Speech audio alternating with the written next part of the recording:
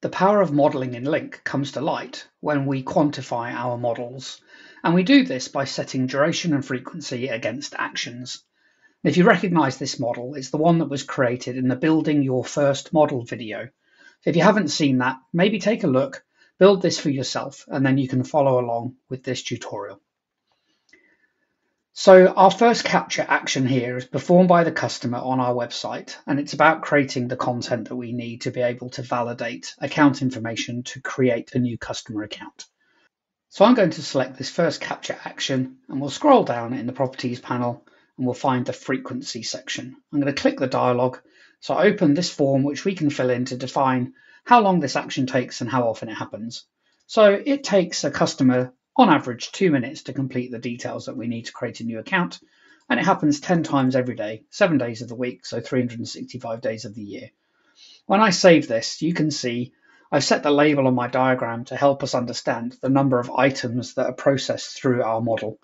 So we have 3,650 accounts being created a year, and they create 3,650 names, addresses, and email addresses for us to uh, deal with.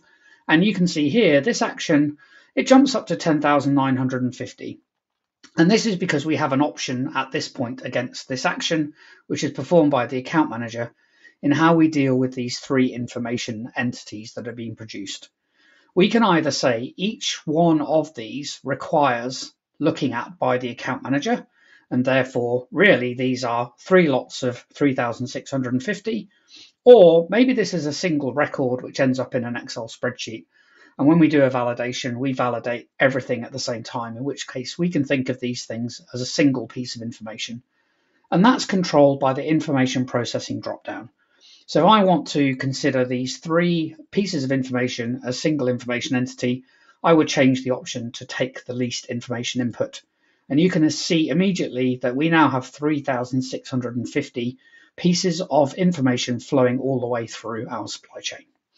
And so now I just have to define the duration. You can see the prompt has changed from missing frequency and duration to just missing duration. If I click here, I get to use the input frequency and I can just define the time for this specific action, which is the validation exercise by the account manager. So maybe it takes them five minutes to validate each account. So we can save this. I can come to the next action, which is the CRM loading data into itself. Again, I have a duration to complete. I can use the frequency here, and maybe this just takes it two seconds, and I can click save.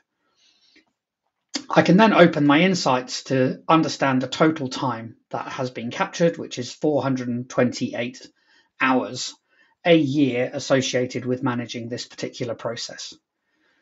The advantage of doing it this way, by thinking about the capture action and how many items are injected into the process, is that I can increase the number of accounts that are being created and I can see the impact of that immediately through my process. So I might open this action and increase it to 20 and immediately we can see that we've just doubled the number of items that are flowing through the process.